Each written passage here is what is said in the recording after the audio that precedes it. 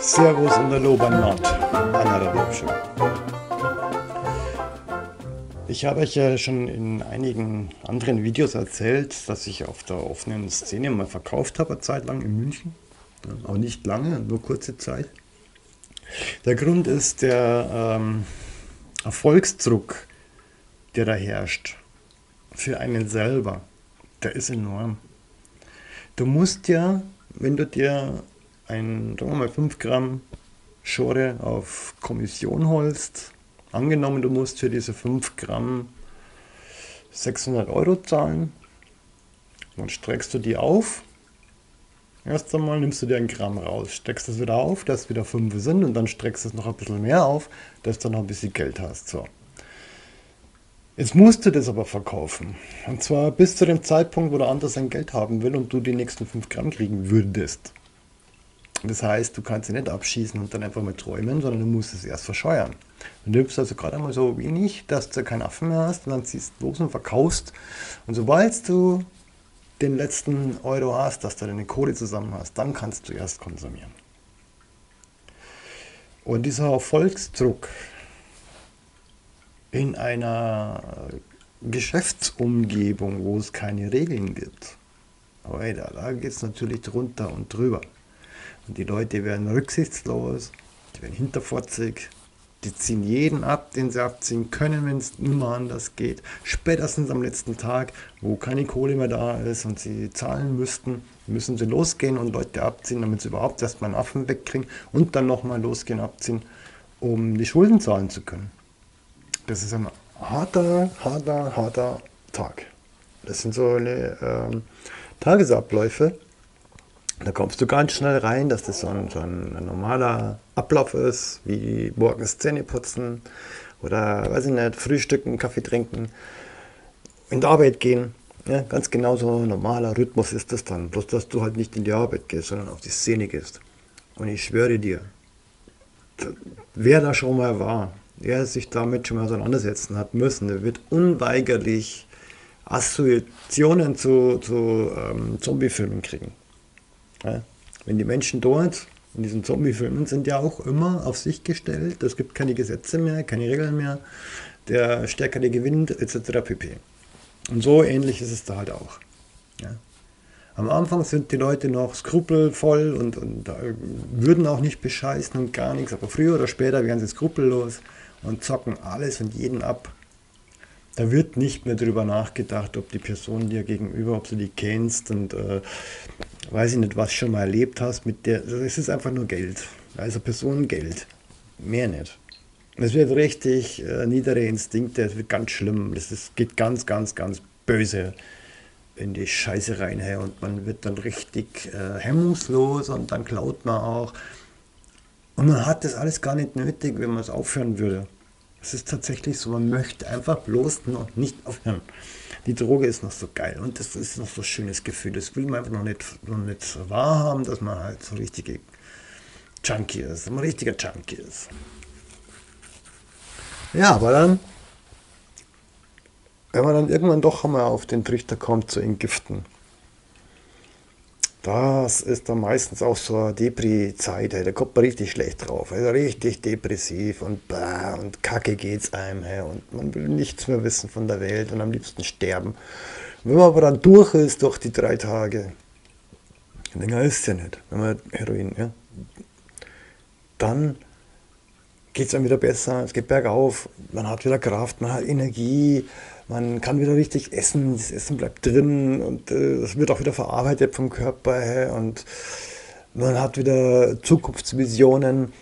Leider ist es aber wie immer auf und ab gell, von den Gefühlen und das ist dann halt etwas, was man nicht mehr kennt, das Auf und Ab. Weil man ist ja so Eisstein gewesen, so eiskalt und das war einem alles egal und plötzlich ist einem nicht mehr alles egal. Und die ganzen Probleme. Und dann fällt einem ein, wie man alles beschissen hat. Und dann, äh, boah, das übermannt einen dann so richtig moralisch, weißt schon, ja, und dann ist das so eine fette Welle, genauso die Glückswelle, das ist aber dann so eine moralische Welle. Und dann kann es schon passieren, dass du da die Augen rausholst, weil du erkennst, was du für ein Arschloch warst, ja, was du alles gemacht hast, weißt du? Du willst sowas nicht, Da musst du halt äh, rechtzeitig die Kurve kriegen. Bevor du mal jemanden anders abziehst.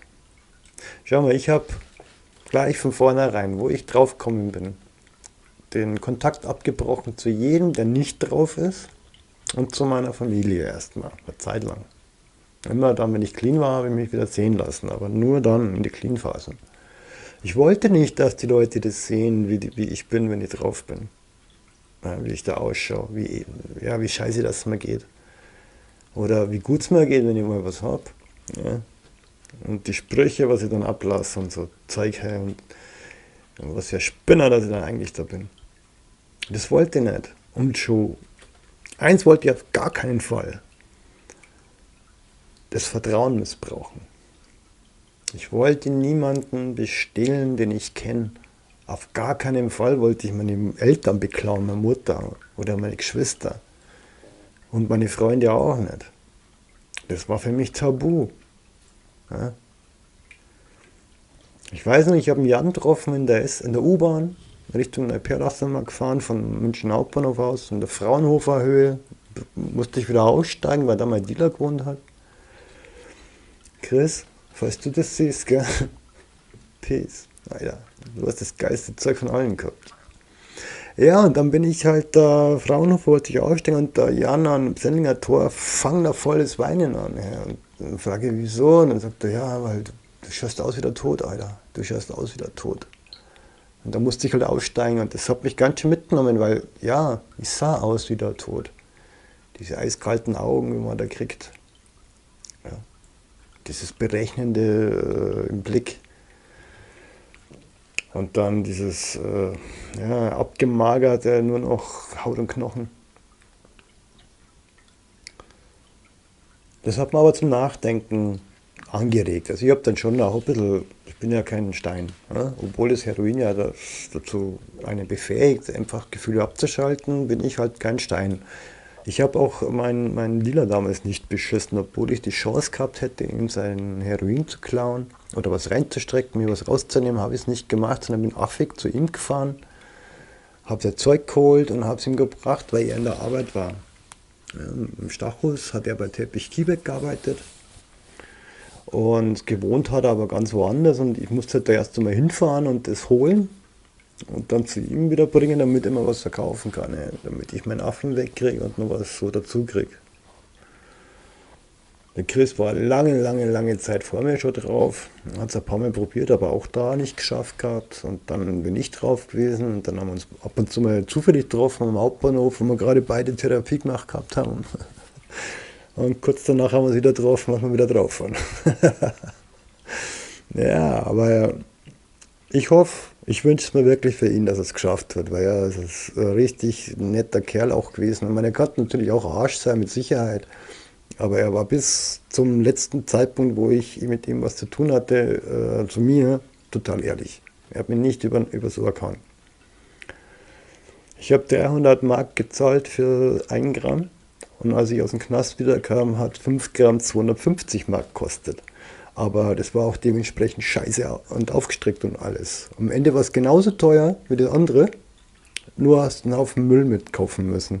Und das Blöde ist, du kannst es nicht auseinander dividieren. Du hast halt den Müll und kannst es nicht rausnehmen. Ja. Es ist bei jedem so. Jeder würde lieber das reinere Zeug haben und lieber mehr zahlen als diesen verschnittenen Rotz und dann einen Haufen, weiß ich nicht was, mit, mit reinballern müssen bloß damit man weniger zahlt, man zahlt ja trotzdem genauso viel. Also das äh, geht man nicht in den Kopf rein, gell? Ja, Leute, das war's für heute.